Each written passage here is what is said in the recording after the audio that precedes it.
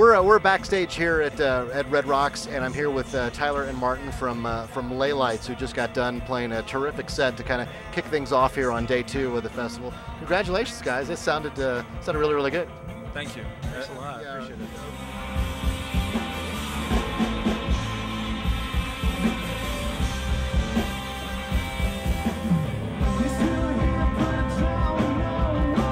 You know, for, for those you know that are watching this interview, not from the Denver area, give us the give us what the vibe was locally about the festival coming in.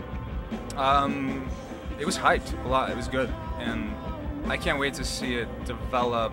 I mean, this being like the first year and all, I think it's fantastic so far. He was here last night too, checking it out, so he can speak more about like. Saw some great bands, editors, one of my personal favorites, which is just fantastic on the same stage that we were. And uh, the setting around here is fantastic, as you can imagine. But at night, it's kind of magical. You know, you got lights and you got stars, and it's just fantastic.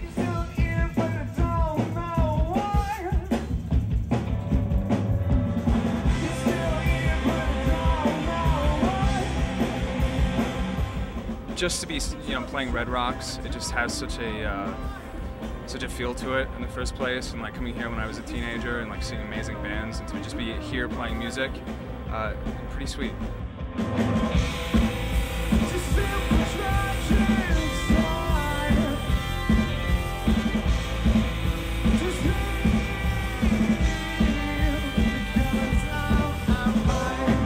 They've got such amazing bands playing this festival too.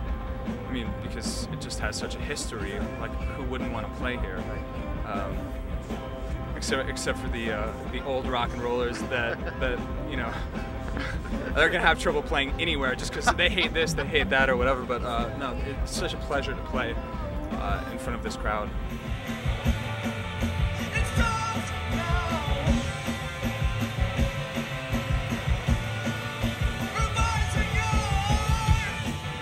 Boy, I mean, between South by Southwest, you know, and now here, and uh, and you, you got a surefire way to uh, really get uh, hook the audience there at the end when you decided to give away, you know, the EP, which was very very cool. More bands should probably do that stuff, you know. By Well, it's, by it's well, it's our EP. We're, we're we're trying to build up for our full length, which is uh, it's not been a long time coming, but it's just like we've been itching and itching and itching to just get it out there, and you know, how are we going to get people interested in, in getting that album, which we think is going to be amazing?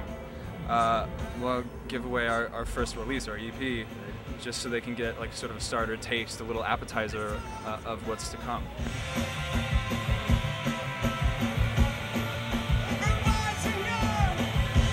so how far are we along in uh, in getting that full length out? Uh, we'll probably have some single stuff ready end of October.